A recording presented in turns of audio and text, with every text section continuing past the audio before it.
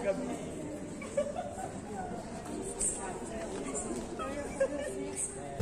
Bom, bom dia, eu sou Marilda Soares, eu sou historiadora, eu sou funcionária também da Secretaria Municipal de Educação, né, na Assessoria Especial de Projetos e responsável pela formação de educação das relações étnico-raciais.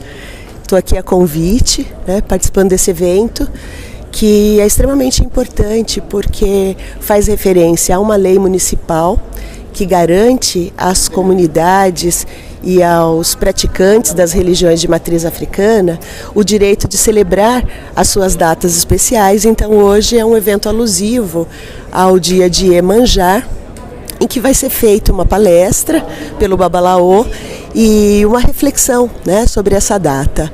Então ele me fez um convite muito gentil e vou faz, falar um pouquinho sobre o ponto de vista externo, né?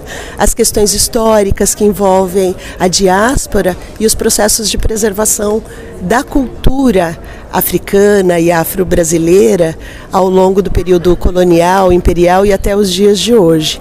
Então é uma fala breve, um momento breve, mas eu, eu acredito que é muito importante na medida em que nós estamos sempre trabalhando no sentido da preservação da memória, da preservação da cultura e das identidades que são múltiplas dentro do processo de formação histórico-social do Brasil.